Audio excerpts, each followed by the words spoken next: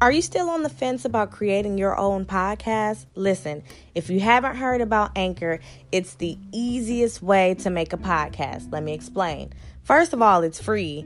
It's a creation tool that allows you to record and edit your very own podcast right from your phone or your computer. Anchor will also distribute your podcast for you so it can be heard on Spotify, Apple Podcasts, and so many more. Download the free Anchor app or go to anchor.fm to get started. Speak Your Truth podcast. It, it, it, it's about being real. it's, it's about sharing real stories. It's, it's, it's about sharing our truth. These, these, these, these are the stories of the people, people, people of the city of Milwaukee and beyond. This, this is Speak Your Truth podcast.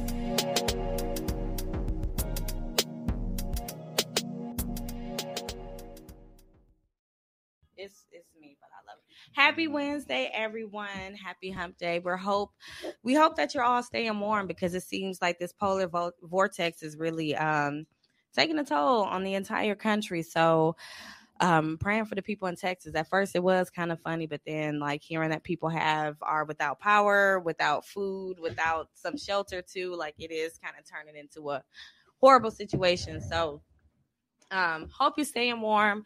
This episode this week is um, on a more serious note, and it's very important. And we like to visit mental health um, at least one at one to two episodes per season. So today we are talking about mental health for men. We have a special guest here, and before I let him introduce himself, introduce himself, I just want to do a mental check with my boys. How y'all doing?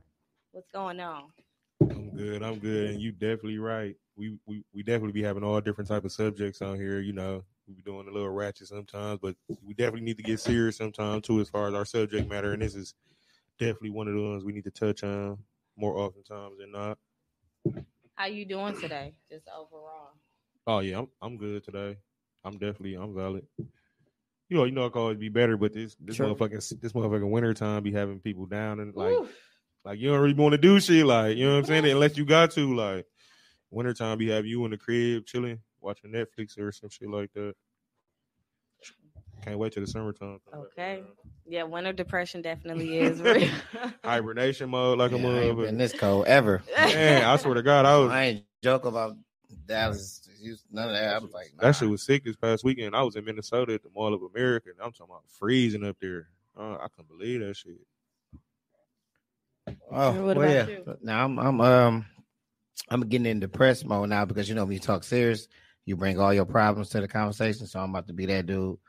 I could have came in excited, but I'm just gonna just be um, a little down. I feel like I gotta change my voice because today is a day that uh, we, you know, we all gonna get something off our our mind or, or answer a question, something we need to know. So, um, yeah, I'm just a little emotionally happy. So I, I would say, like for me, my mental health this week it's kind of been up and down. Um, you know, coming off of the high of Valentine's Day, so I did have a really Woo! good. Val- That's why. I, look, they dropped his phone. He said, Shit. I did. I did have a really good Valentine's Day, like memorable Valentine's Day, and then when you kind of come back into work and then everyday stress and then virtual learning has been somewhat of a struggle for um, my son. And then so all of that stress and then being a small business owner i'm everything right? The hr person.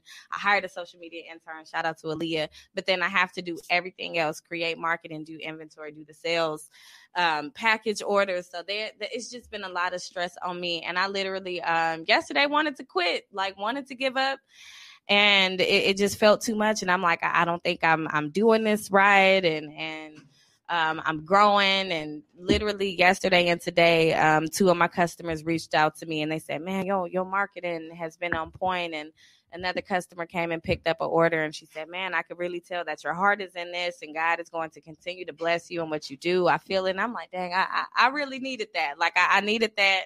You know how like if you're spiritual, they say like God speaks through people to speak to you. So I really felt like I needed that. And then the customer today, shout out to Rika. She was like, Yeah, your marketing has been on point and keep doing what you do. I'm so proud of you. So that that made me, I'm like, okay, like I, I I'm doing something right. So your, your mental health got checked. That's good. My little... mental health did get checked. Um, I did do some other things this week. You know, I had some some self care therapy. Like I took a nice long bath, put some um Epsom salt in there, did some meditation, prayer. You know, I have you know herbal therapy too. I indulge in to keep me calm. Um, but I it, it was a rough week in the beginning, but now I'm kind of getting over that hump, and I'm super excited. Um, so important today. So we have a very special guest here with us and and we're talking about mental health for men. Of course, mental health is encompassing for everyone, but specifically we want to focus on men today and, you know, different strategies for coping and grieving and what is considered mental health for men. So we're going to start and um, let our guest introduce himself and we're going to dive right in. So hello, hello. Hello, hello. Uh, my name is Corbin Tannhauser. Yep, speak it to the mic. There you go. Sorry about that. No, you uh, could. My name's Corbin Tannhauser. Um, I'm uh, 33 years old. Mm-hmm. Uh, reside north side of Milwaukee. Well, now I'm in West Dallas, but born and raised on the north side of Milwaukee. Mm-hmm. So I've been here. Uh, high school graduate from Milwaukee Vincent. Okay, V House. So, yeah, so, no, we all know out class of six. Um, and I'm a recovering. oh, there. And I'm a recovering addict. Mm-hmm. You know, I've been recovering now. I've been in recovery for four years. Okay, congratulations. Thanks, thanks. Yeah. Um, and my addiction is uh, payments. Mm-hmm. Uh, going a little, giving you a little background history. Mm-hmm. It started at a younger age, but I didn't realize that till therapy. Mm. But just from the base of where I thought it started from mm-hmm. in 2011, mm-hmm. I ended up having a hematoma behind my shoulder blade mm. that was full of infectious fluid that found it uh, toward the muscle underneath my arm, and it created a mass and a sinus tract in which it came to a head and started pouring out pretty much. Wow! And they went in emergency surgeries. To within 48 hours, we got to get it cleaned out. And then from 2011 to 2016, I've had 10 more surgeries on the same shoulder. So in between all of that, the rehab and just mm-hmm. the physical pain of it continuously going into it, we're gonna give you medication.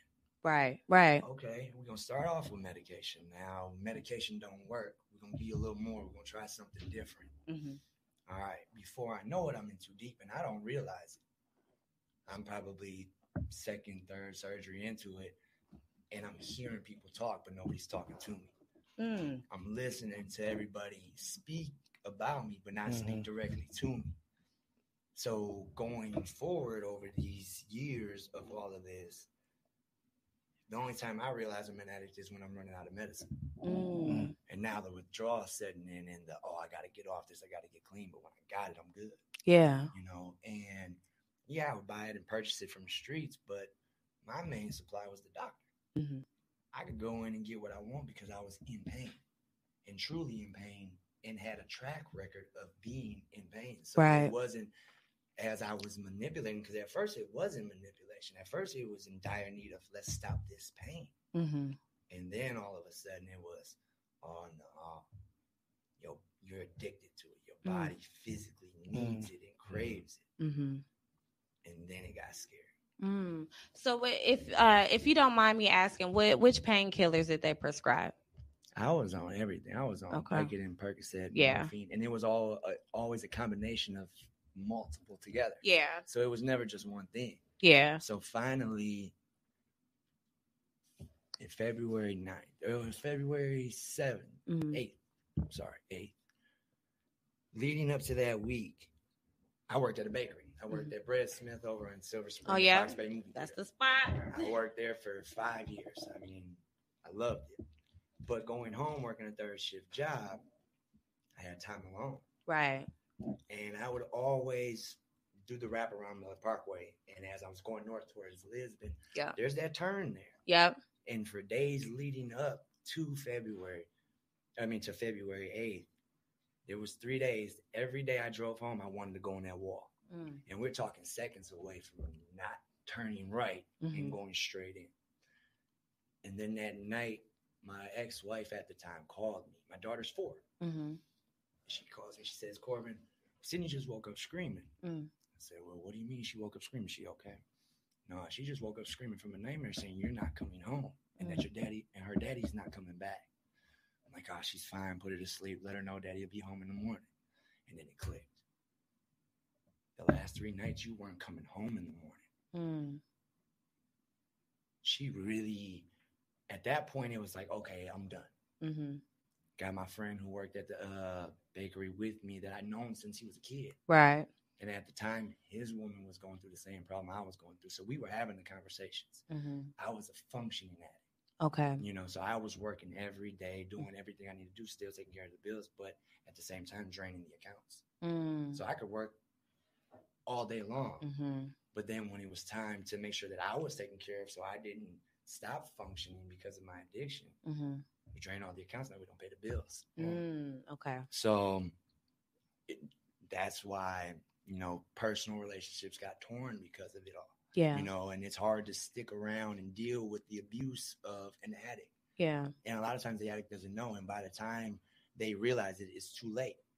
You've driven a wedge between yourself and Yeah. your other That's that, true. you know, it's hard to come back from. And, you know, and ultimately with our personal stuff didn't work out. But Yeah. um at that point I called my ex and told her, I need you to find me somewhere to go. I gotta get clean. And it's in her mind, she thought, ah, he's just saying this again. He must have ran out of pills. Right, Right. That's always what you revert back to when Yep. you're running out is I gotta get clean. Mm-hmm. But at that moment I knew I needed to. So she called around, made some calls, and she found a place here in Milwaukee, which it was like a detox center. I don't even know the name. of the place. Genesis might have been. or yeah, either that or Gateway. Right. And we're on our way there. And I tell her, I said, pull over. So Mm. she instantly scared. Oh my God, he doesn't want to do it. He's going to go find something, blah, blah. I'm like, no, I need you to find me somewhere where I can go, not just get through the detox, but they can teach me how to give me a base of how to stay clean. Yeah. Mm. So we pulled over. We went to George Webb's. She made some phone calls to the hotlines. Well, now it's four o'clock in the afternoon. We got to go through all the insurance process everything's closing. So I'm in the midst of a 24 hour detox, you know, my first 24 hours, and we can't get a hold of nobody. They got to get a hold of me in the morning. Mm. So I'm sitting there that night, ho- struggling to not go and call somebody to get something Mm. because it was as easy as a phone call. Yeah. and we made it through the morning and they got back to us and they said, okay, we're going to put you on a plane. We're going to fly you to Florida. I'm like, all right, cool. It's February. I'm, I'd be happy to go to Florida. And then they changed it up an hour later and said, no, you're going to Illinois. You Mm. know, drive down through the snowstorm. And it was a blizzard driving down there three and a half hours into Gilman, Illinois. Mm. And they sent me to a recovery center that it was a 30 to 90 day pro- treatment program on, you know, the severity of your addiction. And I ended up graduating my 30 day program in 28 days. Good. Mm. So, I mean, it was when I got there, they asked you the basic questions what are you doing, what you're addicted to, yada, yada, yada. And I told them the amounts of everything that I was taking. And they looked at me and they were like, well, you were stupid Mm. because you might as well just been shooting up heroin for the amount of money you were spending on prescription meds. hmm That's how many prescription meds I was taking. And I didn't even realize it because So, so then, and and not to interject, but were was insurance covering like when you would go to like Walgreens, was insurance covering, or did they make you like pay out of pocket for the prescriptions. or- Yeah, for the prescriptions. Um, I had a, I, I we had, we had uh, insurance through my wife's job, and she, Okay. or my ex-wife's job. Yeah. and she worked at the hospital, so we had decent insurance. Yeah. you and- know, so it was a seven dollars prescription, but Oh, I could go sell that script for two thousand dollars on the streets. Really? So I mean, we weren't talking, you know, small amounts. We were talking high scripts because of the amount of pain that I was in and all of the surgeries that I had. yeah. It got to it got to the point where it was so easy to manipulate the doctors. Wow. You know, because You My- already got a history. yeah, I had, Yeah. I had a track record, and by the time the doctors realized what was going on, it was too late. You know, it got to the point where they couldn't even stop the monster from acting. So then, so my, so just coming from a family, so my family, um, has just really been plagued with like substance abuse and addiction. So my mother um, has just all her life has been kind of like battling with substance abuse. Now, I learned a lot about so eventually, you know, after prolonged use of, you know, whatever drug that you may be addicted to, the drug um, some people say that it kind of takes over and it's in control and it's not you. Do you kind of agree with that Absolutely. sentiment? You do? Absolutely. Me, I mean, me and Drew, uh, we had a talk yesterday, mm-hmm. and I live every day pretty much caging the monster that I put away that day. I mean, it just because I walked away out of a program didn't mean that once I I was safe for those 28 days. I didn't have to worry about the rest of the world. It was a three day walk mm-hmm. back to Milwaukee, and nobody was coming to get me. You walked back to Milwaukee? No, no, no, oh, he's saying that he wanted to leave. Oh, got you, got you. Okay. To leave that facility, I was going to have to hike my ass back here because nobody was going to drive to come and pick me up. Early. Yeah. Not until I had that token, that graduation form, everything that said he passed this. He's ready to go home. He's ready for the real world. Nobody was coming, you know. And it wasn't the fact that it was bad for me. Like they, I needed to be there. Yeah. You know, in that first week was miserable. I mean, mm. I tossed a room because I couldn't find a wallet sized picture of my daughter. Mm. But at the same time, I couldn't talk to her. I couldn't mm. see her. You know, I, you got to go through that detox phase. Yeah. And the more they let you talk to your family, the more you want to be with your family. Mm-hmm. And, you know, I was a father from the day she was born until today. I mean, I, I never had a day off, you know, so now going and saying, okay, I'm going to go pretty much abandon my child for 30 days. Yeah, that's you tough. know what I mean? And in the midst of trying to become normal again. Yeah. You know, and it the hard thing for me to grasp of what was normal. See, and I'm so glad you brought that up. So another thing that I wanted to ask you is because so I'm an adult now, and you know, I I had uh, and she was addicted to drugs when I was a kid too. But now that I'm older, I kind of understand. So then I never could understand how she would relapse after she got clean. And then the therapist was telling us like, even if your life is going normal, the easiest thing can can trigger you again to want to relapse. Do you agree with Absolutely. that too? I mean, can you explain just a little bit more about what that means? Okay, so I have my I, I you have your good days, you have your bad days. Yeah. Okay. And every human being has theirs. Yeah. But being an addict, you know, suffering from PTSD, depression, anxiety. Yeah. I'm dealing with a monster inside of my head on a daily basis. And when I came home, I had to be rewired and have to learn how to rewire my brain mm-hmm. on what I thought was normal.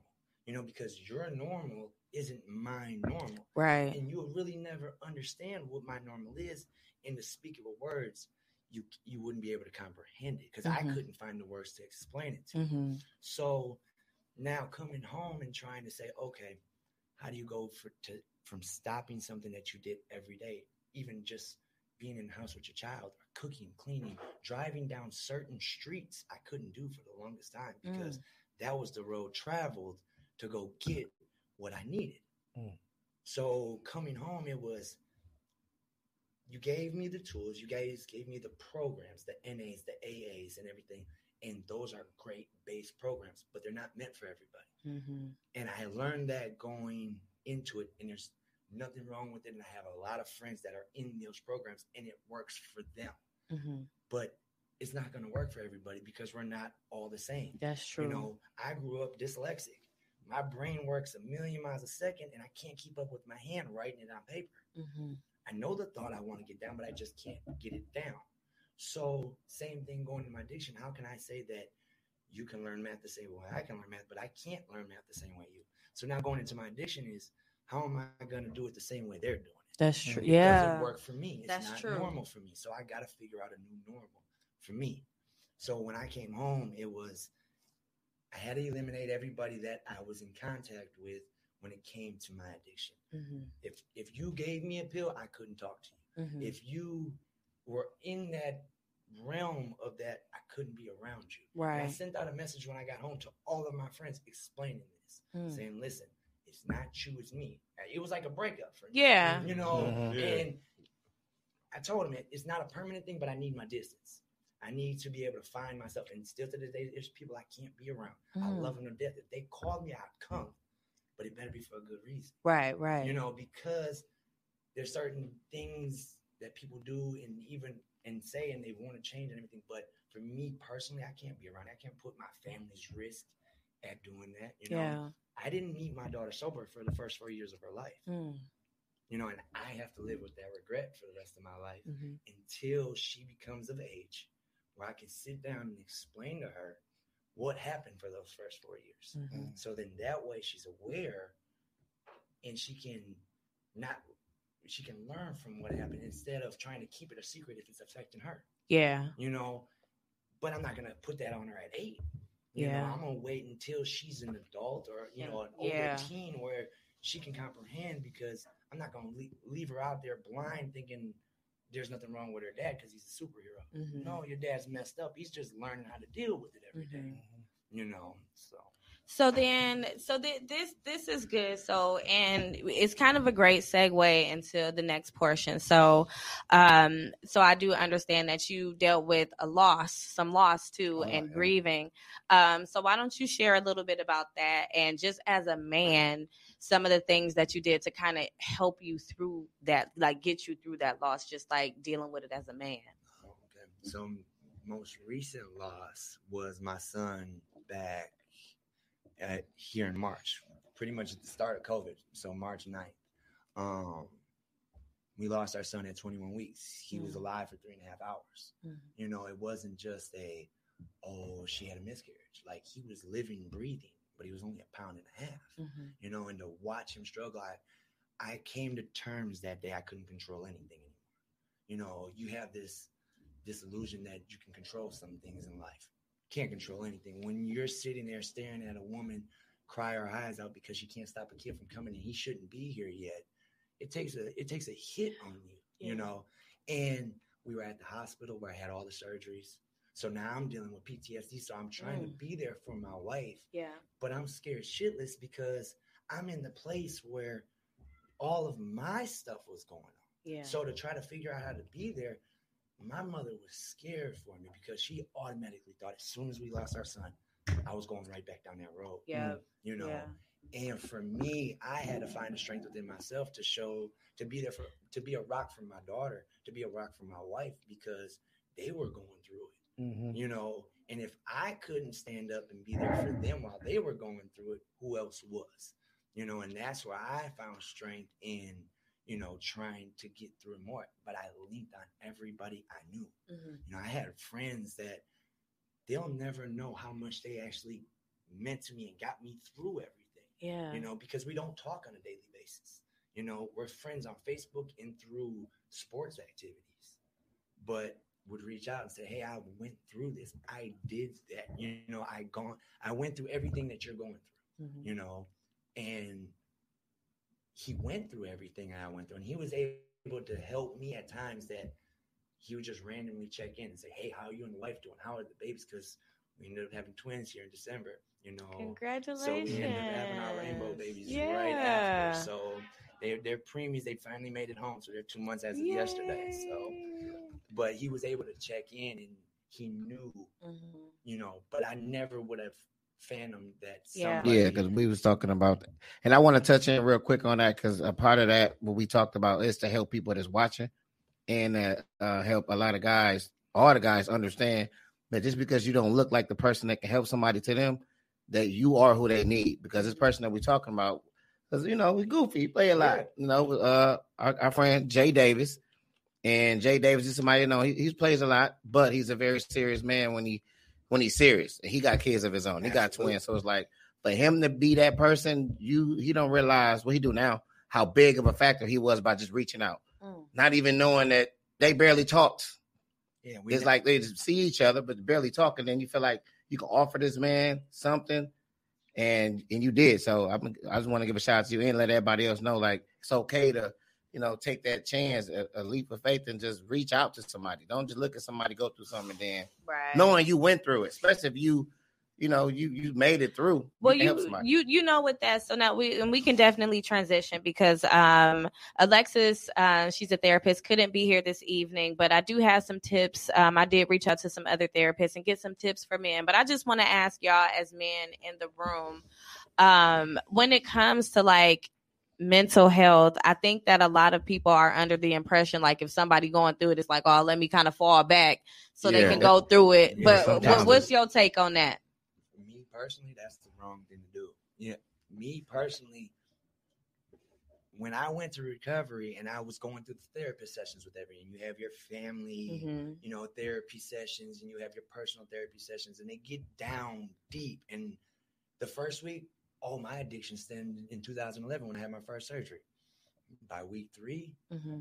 I was addicted to stuff back when I was in middle school, elementary school mm-hmm. that mm. she brought out of me. Mm-hmm. And talking to my family members, they told me that they seen my pill addiction, you know, downward spiraling years before I even noticed it. Wow. And I asked them, well, why didn't you say anything? Well, we didn't want to make mm. it worse. Mm. Okay. We didn't want to offend you. We didn't want you to shut us out. Yeah. We wanted to be able to keep our distance and keep an eye on you mm-hmm. instead of you know bringing it out. But by then it was too late. So almost enabling you, almost, but didn't know exactly, okay. and not even trying to do it, just trying to not add fuel to the fire. Yeah, you know, and like even now, so my twins came home. You know, mm-hmm. and in the month of them being home, we barely sleep, you know. Right. I work all day. I barely sleep at night. So it's it's times where we forget to eat. I mean, my wife's snapback is amazing. Period. Right for me, being a guy that struggles to stay above 155 pounds, for me to lose any weight, it looks like I'm relapsing. Mm. So my mom brings it to my attention the other week. She says, "Hey, is this something you need to talk to me about?" Mm. What are you talking about? I mean, I'm here. What you, what's going on? She was like, are you okay? I'm like, yeah, I'm fine. My kids is here. Everything's good. She was like, is everything else okay? I'm like, mom, what are you talking about? She was like, have you been taking pills? I'm like, if my if my kids are my addiction, then I'm fully addicted okay. to them because they're the only reason that I'm not eating, I'm not sleeping, everything else. I said, I'm never gonna put these kids through it again but I appreciate the fact that mm-hmm. you actually asked this time. Mm-hmm. You know, I'm not offended by it because I'd rather you ask me if you see something, mm-hmm. ask me about it. Mm-hmm. You know, and that's where I wish I would have would have gotten it. Yeah, back then. But I mean, and I you wouldn't have listened. That's what I was just gonna say. You probably wouldn't have been ready. So I know for some some men, it's like when you try to they're not mature yet. So you you are very mature and very wise. And it's like when you try to bring somebody's attention to something, it's like, well, why are you asking me and this and that?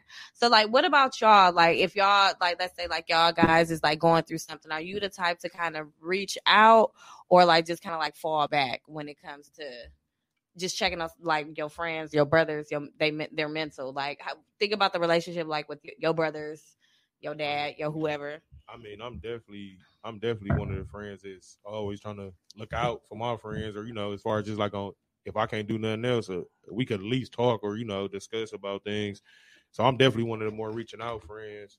You know, people I really consider friends or people I'll be around that I uh have personal relationships and know personal stuff about it, and will actually be knowing they was actually going through stuff. So I, am definitely one of the friends that I, I talk it out with my friends, and we always have good conversations and try to be as honest with each other as we possibly can because no matter how close you are to a person, you can't never walk a day in their shoes. You know what I'm saying?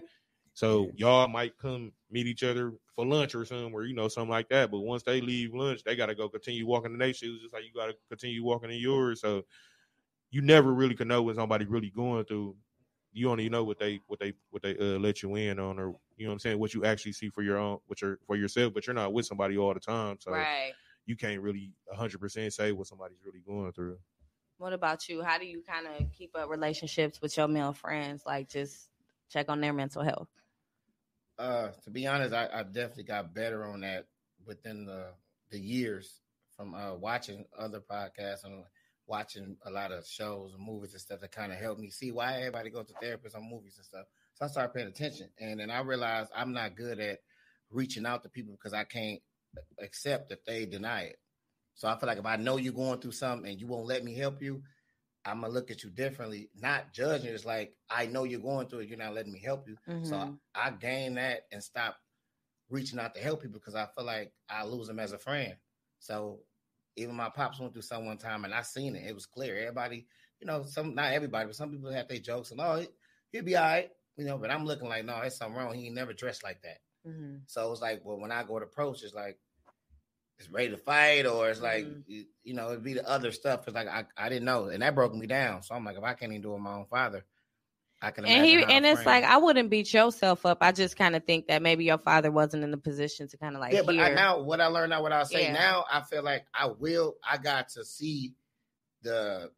You got, you know how we give vibe like mm-hmm. I, I need some help. We'll wink and we in danger. Like I feel like people that do that with me, they understand my my my body language when it comes to something. Like if I'm acting like I ain't got no drinking problem, but be every time he looking at me like, "Are "You sure you good? You sure you good?" I'm a, I'm one of them. Sure you good is gonna let me know like he trying to help. Mm-hmm. But some people ignore them on purpose. Mm-hmm.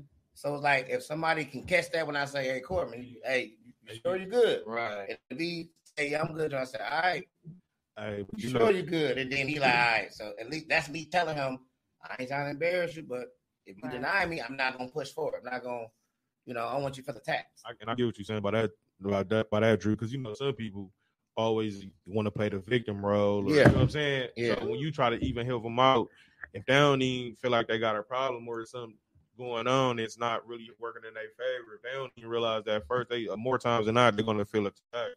Or they yeah. play victim, or you know what I'm saying. Or that depends on what their addiction is, and they flip on you. Exactly. And then now y'all friendship mess up because they was so like then they don't know. Like these days, people don't want to admit. People definitely lash out because they, they don't see the underlying problems of you know whatever your addiction may be. It might not just be drugs or it could be alcohol. It could be anything. You know what I'm saying? It's, shit, if you watch my 600 pound life, they addiction not drugs, but they addicted to food. Yeah, you know what I'm saying? True. So people on hoarders, like every yep. everybody. You know what I'm saying? No matter what, true. Mm-hmm. no matter what your addiction is, like when you go to that extent where it's to the point where it's it affecting it you and other people around.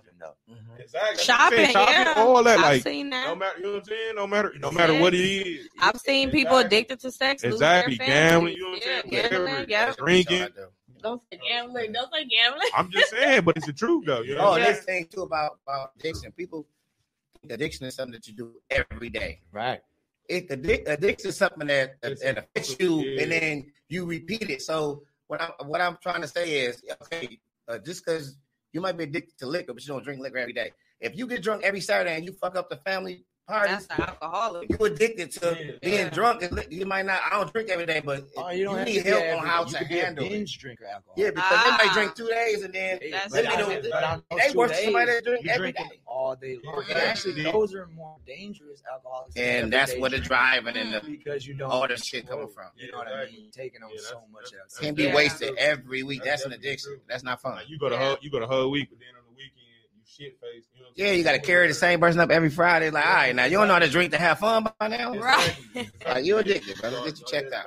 Got a point right there. So uh, some of the therapists I reached out to um, share some strategies to help men, you know, grieve, cope with loss, and just in general take care of your mental because we know that um, there's a lot more when it comes to a man because like men unfortunately aren't taught to be in tune with their emotions like women. If a little boy falls, it's like, oh, up. Yeah, but then if a little for girl falls, it's like, oh, okay, let me hold her. it's like boys need to some extent, boys definitely need, you know, nurturing too because as men, you're not most men aren't in tune with their emotions. Just like that's why you see a lot of men calling Russell Russell Wilson the simp, and it's like, no, this man loves his woman, but we ain't gonna get into that.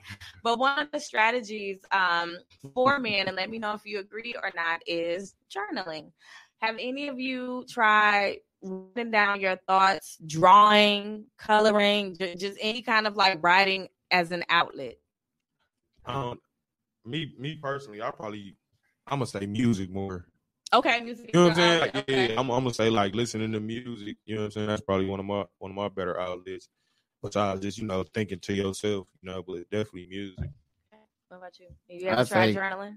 Yeah, I did. I tried it, and I will say I do believe it worked, but I don't do it as much as I should. But I did realize not too long ago that it's a book I wrote something. I was just writing and writing and writing, and I'm like, it helped me that day. So I'm like, I know it worked, but I do need to do it more. I will say that. For me, uh, music was my main thing back in rehab. Mm-hmm. When my son passed away, music's always been my turn to for everything. When I'm having a bad day, I get lost. I can get lost in the same song all day long on repeat, too. and it'll never get boring.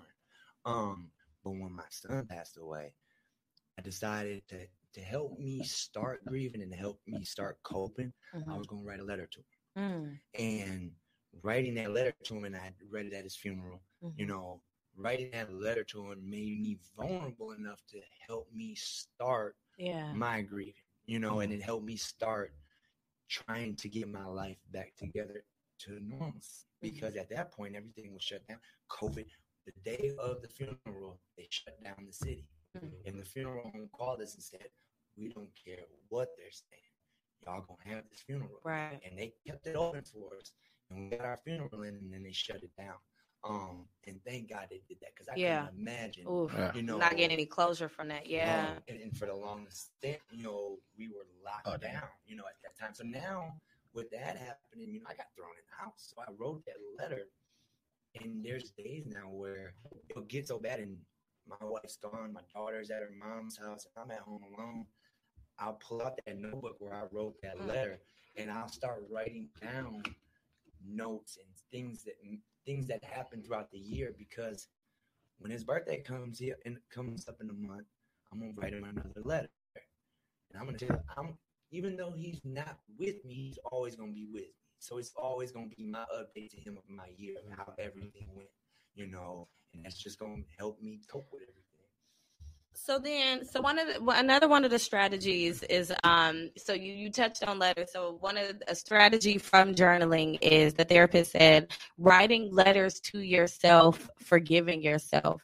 Um, have any of you ever tried that, like writing a letter to yourself or to your kids, or no? No, never. I, probably, I, I probably do that. to myself. I say I wouldn't do it, but I have I've ever done. Yeah, it's funny when my guys on here, quite we used to freestyle. We used to be uh, having bad days, and that, I, I, forgot they used they used to help too. You yeah. rap about your own problem. Can't pay the bills on time. Right. Um, another strategy is yoga um and it's not even like even if you can't get into the poses but like sitting down centering yourself and listening to music have you would you consider doing yoga to try to de-stress? Or just yeah, meditation? I mean that's yeah that's damn near i mean right up there we're working out because you know yeah when, you, when you when you working out more times than not you got the music going so you know what i'm saying? That's yeah. that, that damn near go hand to hand. That's like the sanctuary in his own self you, you know what i'm saying? Mm-hmm. you kind of think and you know and then another question that came in is why do you think um, men find it so hard to recognize that they need to go to therapy? Mm, that's, I mean, because we don't see enough people. I mean, because you got surrender and like yeah. basically, you know, you got to. I need it. We, you got to think about it. Like I, like you said though, no matter no matter what race you are, if you coming up as a dude more times than not, you coming up uh, as a male, I should say, you coming up as don't cry, you got to be tough. You know what I'm saying? Mm-hmm. You got to be. You know what I'm saying? So you you really learn. You really show that you need to mask a lot of the way you feeling, or don't let things affect you as much as they probably are, or don't. You shouldn't show it. What they say, never let them see you sweat. Basically, right? You know what I'm saying? So that's that's probably why it's probably. I ain't gonna say look down on, but it's probably why a lot of people don't speak up on needing needing help. If you think about it too, though, it just started becoming a normal thing for everybody. Yeah. Now yeah. mental health is being spoken about. Yeah, exactly. Yeah, yeah. Now, now, like now that, but, but the past generation though, that's yeah, when nobody like, doing yoga and writing books. Yeah, it's been passed on that you shouldn't need mental health. Yeah. You know, like, like daddy was doing yoga, like like back then. Like people, uh, rich people. See, that's what I'm saying. And like us, we did that. We get smacked in the head. Get your, get your ass out the air. It's like we can't couldn't even relax like that. You had to have a punching bag or play um, cans or something. So another strategy is ha- having an accountability person. So, do you have someone like if you are having a rough day? Because some people are just adamant. It's like I don't got nobody. I stay to myself. But I'm like, no, we we all are human. We need to connect with someone. Do you all have an accountability partner or someone that you um, that can hold you accountable? It's like, man, you need to get your right yourself together. Get yourself right. Like, do y'all have one of those people in your lives? Yeah, I mean, like, I feel like I got multiple people that like for sure, for sure, moms. You know what I'm saying? She, she, she'll tell you like she'll tell me all the time like, hey, you need to woo. You know what I'm saying? Make this better. You know what I'm saying? Get on that, or you know, and just then just the people I be around that actually know me personally. They know your people that be around you. They know when you off your square or something not going right mm-hmm. with you. Just like you know what I'm saying, it's gonna be vice versa. I'm gonna holler at them when I feel like, oh, you ain't doing something, or you know what I'm saying? I feel like you might be going through something. I'm gonna just come see, check on you, make sure you good. You never know. Shit, come smoke a blunt with you. Go get something to eat. You know, just chop it up. Not you. What about you, Drew? Oh, I grew up well. It was all boys in the house, and then we always had our cousins uh, and all the uncles and everybody over. So we had no choice but to be tough. So we got so used to hearing our problems every day by arguing. It's like so to hold hold each other accountable was easy. It's just dealing with it. It's like listening to the person after that. So I'm around a lot of people that hold me accountable, especially about you know allowing them to know something. They definitely tell me the truth if I was wrong or what I need to do. And yeah, I mean that's so I, I always had. I'm blessed. I was blessed. to always had that, and um, it is important to have. But I know I see people that don't have it. That's why a lot of friends I got, I don't really see them having that away from me. Mm-hmm. So I think it's good to have young or really speak up on. Otherwise, it'd be hard to get. It's a blessing to have though. Yeah. What about you? Um, my family, my my wife and children, they're my anchor to life. Mm-hmm. Um, but I have friends that when I got when I got out of the out of rehab, I had to change my circle. So I ended up becoming part of a motorcycle club. And my president, I shattered my hand, and mm. I had to have mm. reconstructive surgery. But the night I shattered it, I could I had nobody to go to the hospital with. Mm-hmm. So I called him. He's in bed, sleep with his wife, and got out of bed because I told him I need you. If I go to the hospital now and they gave me pain meds, it's going down. Mm-hmm. He got out of bed and he beat me to the hospital with mm. me speeding to the hospital mm-hmm. to make sure that when they offered it, he was there to make sure, no, he's good. He's in recovery. We can't give it to him. Mm-hmm. And he can take Tylenol. And he saved me that day by mm. stopping me because I knew where I was at because of the situation in which my hand was yeah. shattered. Yeah. You know, it was me physically, but the backstory behind it all, you know, he was the only person that could be there for me that night. You know, and still to this day, he's random. He's the most random person in the world because he'll call me. I got, we got a tracker on you now. Right. I got the other day on, on the what? freeway, and he drove past me like, "You good? I got to turn." and I ain't spoke to him in a few in a, well, in a few uh, months. That's your real friend. We get a tracker on that car. Like, now I'm gonna make sure you all right. That's that's, that's scary that's and cool. Um, so then before, so we we can kind of wind down, um, and then we'll get into to the talk your shit segment. But I definitely, um, you know, want to just circle back to some more tips. If you um want to get more tips on learning about men's mental health, you can definitely um, Google a lot of research. You can connect with um, a local Black male therapist, Hilton Morris of Morris Awakenings. He's amazing. Um, accepts private pay and all type of insurance. If you are contemplating suicide, the National Prevention Suicide Prevention Hotline is also available. I'm not sure if you've ever used it before. I've used it before, actually twice. Um, so if you feel like you are going to dive off the ledge. They definitely have uh, trained counselors to talk you back onto the ledge and help you. And then they even um, follow up with you. So any anything that's related to mental and anxiety, I know a lot of people are living with anxiety. I am one of those people. Um, it's just tough. It, it sometimes it, it and it's not nothing new because like I was just saying the other day having a conversation like man more and more high school kids it seems like kids are getting anxiety younger and younger and it's always been there. We've all had anxiety, mm-hmm. anxiety about fitting in and getting our homework. What we gonna wear to the prom? Am I gonna get shot for my shoes? But it like you said, it's becoming more prevalent. Um, so we are going to turn shift gears to the talk your shit segment.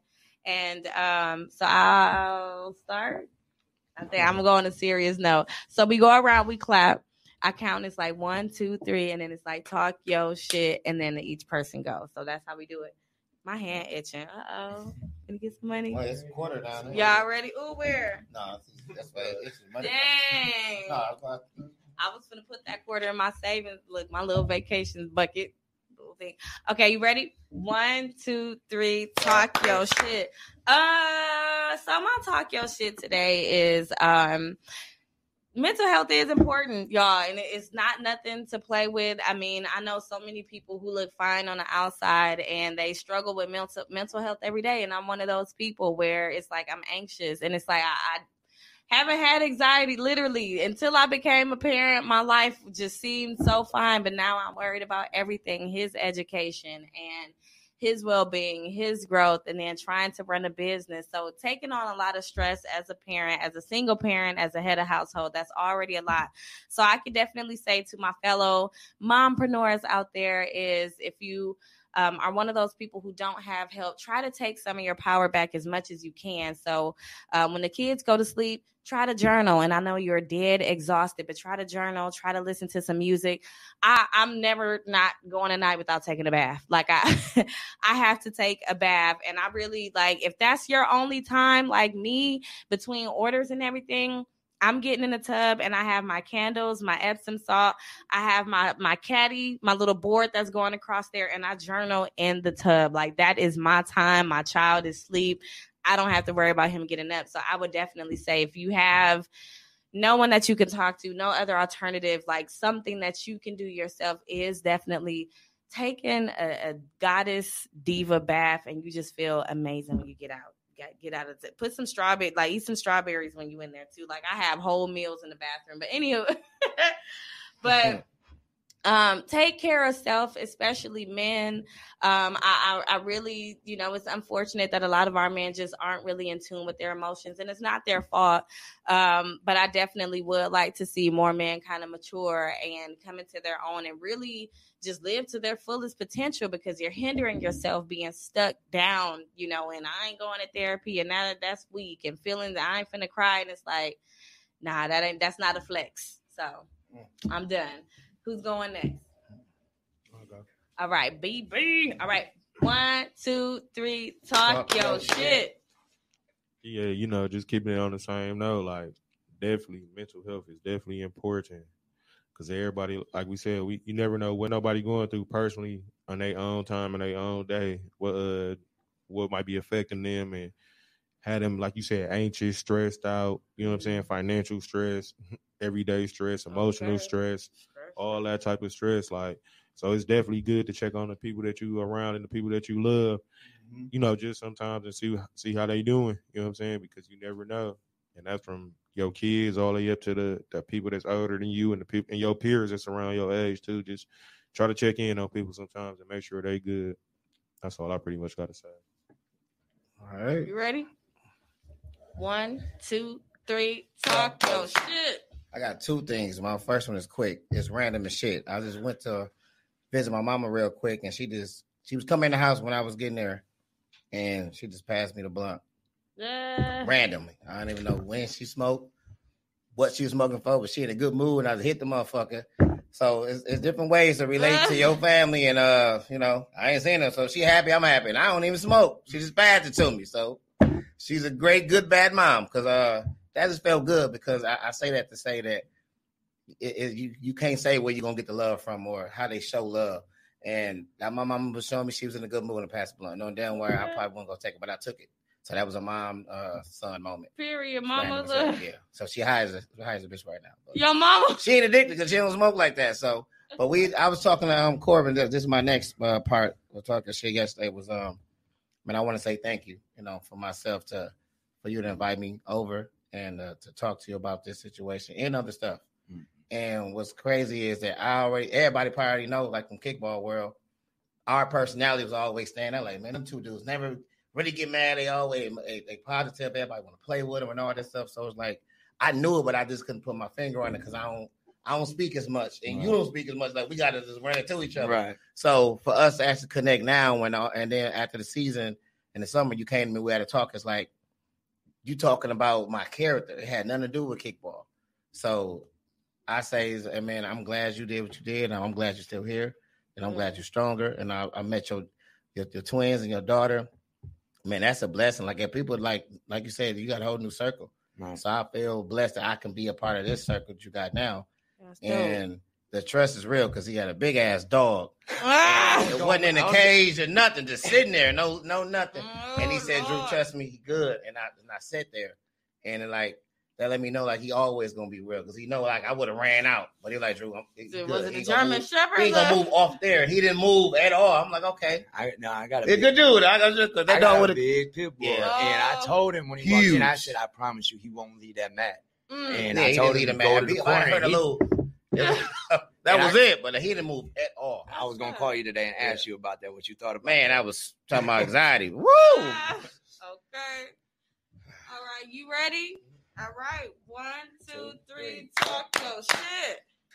Uh, for me, uh, pay attention to the details in the conversations that you have with people. Mm. Because a lot of times you'll miss the small things when they ask for help and you don't even know they're asking for help. Yeah, mm. that's big. I that's needed that. Deep. That's, that's, nice that's deep. I think I was trying to say. I didn't know I said right. I needed that. I mean, especially nowadays. I mean, think about what with just COVID being trapped you know, in the house by yourself, a lot of people don't have a release. You know, my release was sports. You know, luckily we had a kickball season this year yeah. because right. it, yeah, because it being a yeah. Shout out sport, to Diddy for that. You know, definitely. but leading up to kickball, we had nothing. You know, they shut down the gyms, they shut down the you know the the basketball course, they shut down everything. And for me, that was big because I at least knew that I could go to Highland Elementary School uh, every Tuesday and, and play basketball with my boys and have that physical yeah. release. Yeah. You know, to sit there with everybody and just drop a shoulder into somebody and drive to the lane. You know, it, it gives you it's better than beating up somebody on the street because yeah. you're stressing out. Mm-hmm. You know, and I don't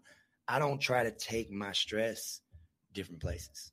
If I got stress at home, I'm gonna leave that shit at home. Mm-hmm. If I got stress at work, I'm gonna leave it at work. Mm-hmm. Because if I'm intermixing it, it just creates toxic. But pay attention to people. If you get a random call, phone call from somebody, yeah, they might be calling you because they need some money. Yeah. But what's the story behind them needing the money? You mm. know, dig deeper to figure out what the issue is because it could be an issue where it's a deeper issue than just, oh, I need to just go get this money because I need to get some milk for the kid. But why don't you have money for the milk for the kid? Right. You yeah. know what I mean? Really pay attention to your friends. There's oh. a lot of people out here struggling mm-hmm. you know, and uh, they struggle with mental health. And like we said, it's not normalized. And now that it's becoming it, where where are these outlets to go to? Mm. You know, who do you talk to? Because Drew didn't been through what I through, so but what I've been through. So if I come to him and try to explain it to him, he'll never get it because he's never been through it. But to listen, now he understands a little bit more. So the next person comes to him, he can relate because mm-hmm. he says, I got a friend that can relate to it. Mm-hmm. You know, and my story, can help him with his story and the people that he needs to connect to. So yeah, that's dope. That's so good, then man. we um are going to let's give a round look give a round of applause to our guest. thank you. Uh, first of all, just thank you first and foremost for your vulnerability because we know it's not easy for people to divulge, you know, like kind of like the the depths of their lives. So thank you so much for um, coming by, sharing your story. And thank you to all of the Black therapists that I reached out to. They gave me some of the strategies. They will be linked in the description of this episode. But remember, we do this every single week. Um, next week, you can, look, you can look forward to us interviewing the big man behind the mic. Tone, but this week uh, we definitely thank you and appreciate you for tuning in, for sticking with us, for hearing this gentleman's story, and always speak your truth and talk your shit. Peace. All right, y'all. Appreciate y'all tuning in. Jay, what's up?